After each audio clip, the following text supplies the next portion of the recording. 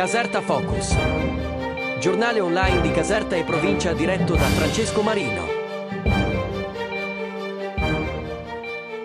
Le notizie del giorno. Capodrise. Il sindaco negro chiede di essere ascoltato dal prefetto dopo l'ennesimo attacco ricevuto nella notte con altri colleghi della giunta. Caserta. Ragazzino rapina una coppia in pieno centro armato di coltello. È stato fermato dopo l'intervento della polizia.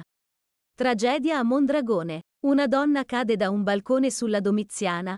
Muore dopo il trasporto alla clinica Pineta Grande per le ferite subite. La municipale indaga sulle cause del decesso. Santa Maria Capo a Vetere. Bloccato con la droga in via del lavoro, 24enne finisce ai domiciliari. Nascondeva altro stupefacente nella cucina di casa. Mondragone. Fermato con 41 dosi di cocaina in via Duca degli Abruzzi, arrestato dai carabinieri. Juve Caserta.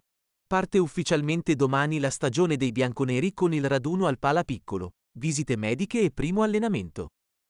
Approfondimenti su queste e altre notizie su casertafocus.net.